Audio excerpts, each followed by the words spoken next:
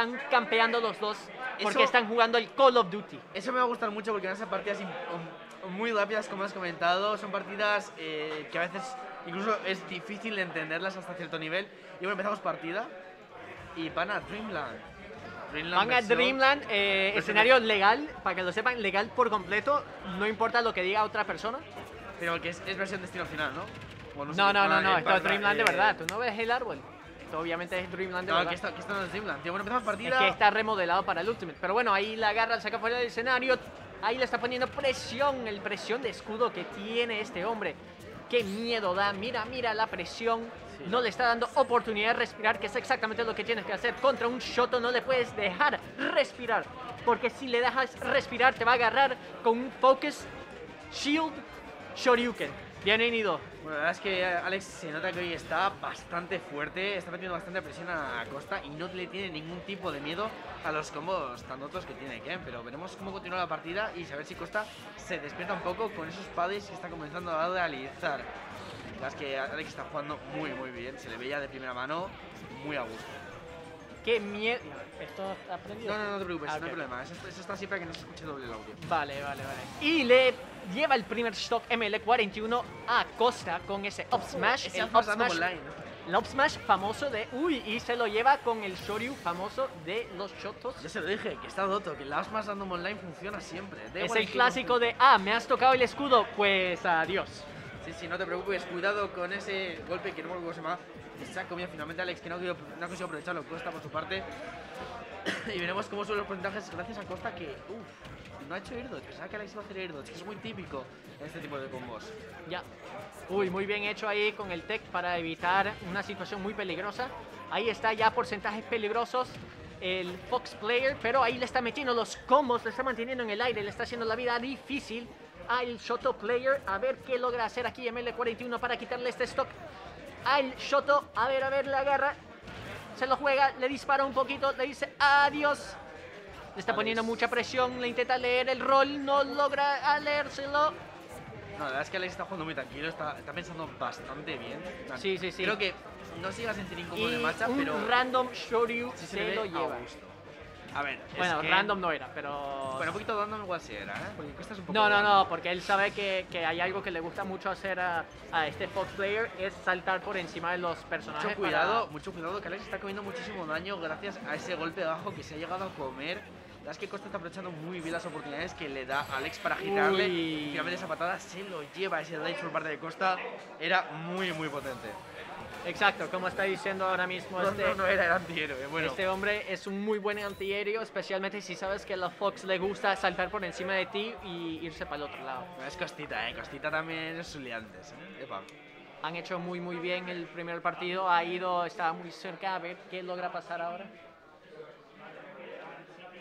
A ver qué pasará en la segunda partida, a qué escenario nos iremos, iremos a Dreamland de nuevo, no sé, Mamá.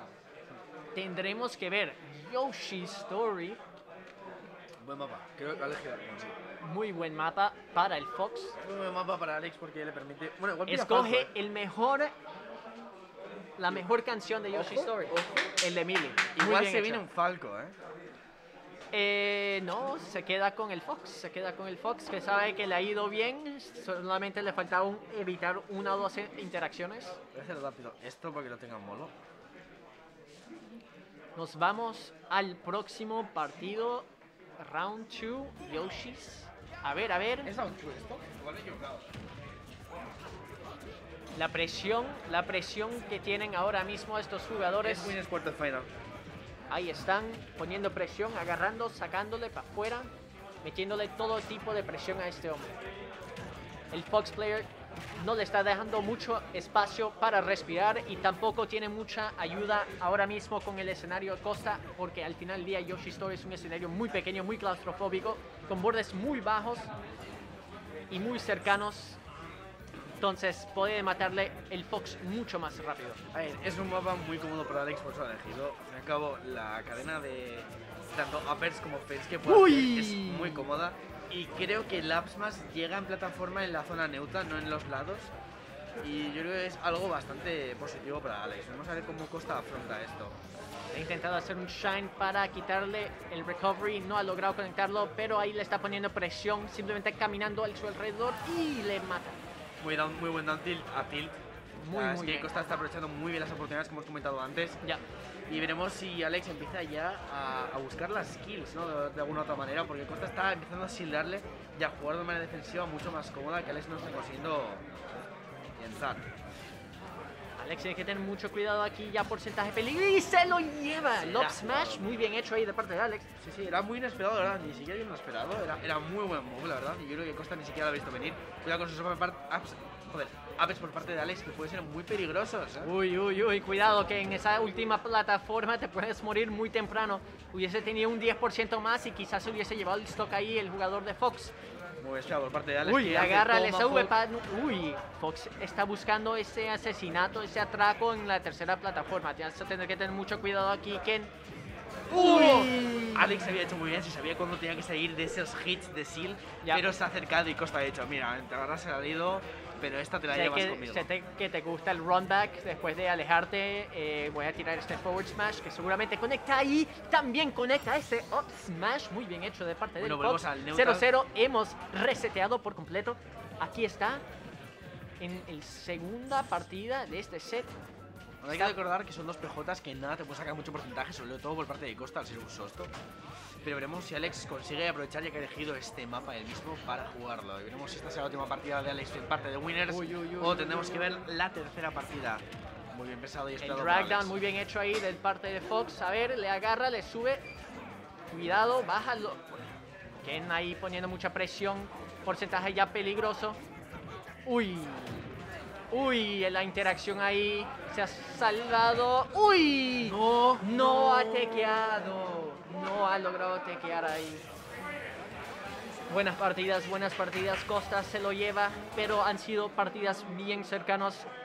Como hemos comentado, han sido, partida- han sido dos partidas muy rápidas. Una pena ese último tequeo que no ha El- sido el- posible. A ver, hay que decir que llevamos dos meses sin torneo. Es normal no estar muy acostumbrado al offline. Y a veces se te puede ir, se te puede ir. Pero sí ha sido una partida muy interesante de ver. Ya, ya, ya. Y a mí lo que me gusta de estas partidas es que son frenéticas, no paran. Hay cosas que ni siquiera te esperas que dirías, joder, esto es random, pero no lo ha sido. Ya. Así que muy bueno por parte de estos dos jugadores. Y seguiremos con. La número. ¿Que técnicamente es? No, ahora, ahora creo que van los- las partidas en losers. No. Chequea aquí. Mira ahí. Ajá. Eh, AF. Bueno, ha sido una gran partida. Gran, gran partido. Honestamente, Voy a poner este momento. ha sido un tech el que pudo haber cambiado todo eso. Bueno, también en el primer partido hubo